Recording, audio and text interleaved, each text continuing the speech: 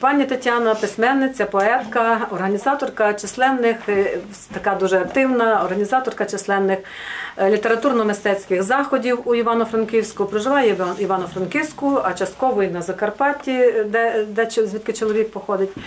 І хочу сказати, що пані Тетяна є доволі успішна, вона доволі відома не тільки в літературних колах, але і серед широкого читацького загалу.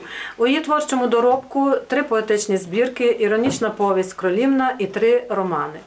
Е, Крайній із яких сьогодні ми будемо презентувати про цей роман. Сьогодні якраз і йтиме мова.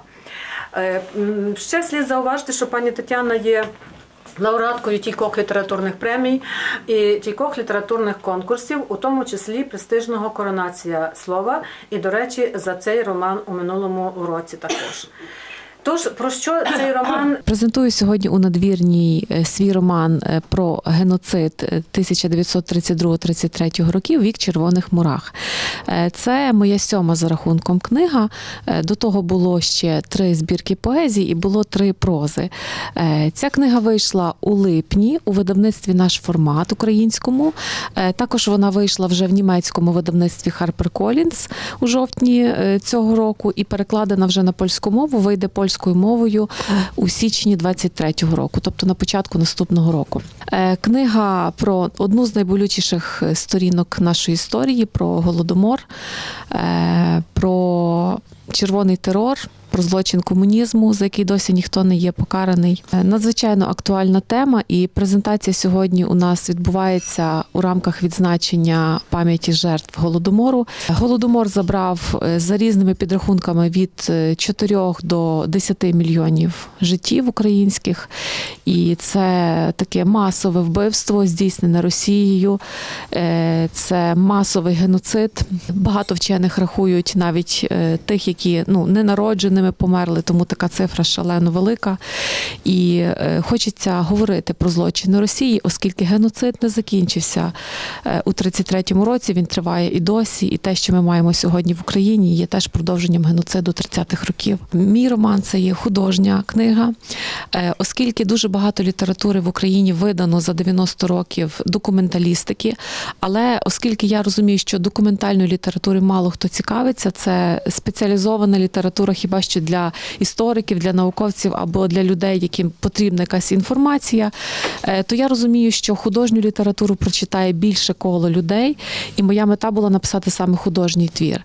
Книга написана на реальних подіях, на реальних спогадах очевидців, на спогадах живих людей, які пережили і змогли через деякий час розповісти про те, що з ними зробив радянський союз. Назва книги теж досить символічна. Вона символізує радянський терор, комунізм, червоні мурахи. Це Найбільш е, всюди сущі, живучі, найбільш жорстокі істоти. Кажуть, що навіть коли буде ядерний вибух, то ці істоти здатні вижити.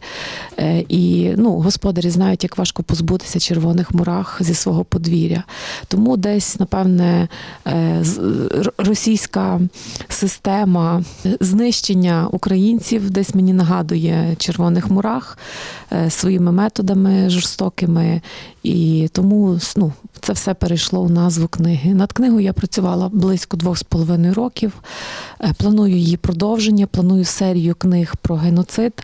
Е, Зараз е, відклала трохи роботу про 30-ті роки і пишу про сьогоднішні звірства росіян в Україні, тобто пишу про геноцид в Україні, який відбувається зараз просто на наших очах. Раніше я писала на простіші теми. Це були в основному любовні лінії.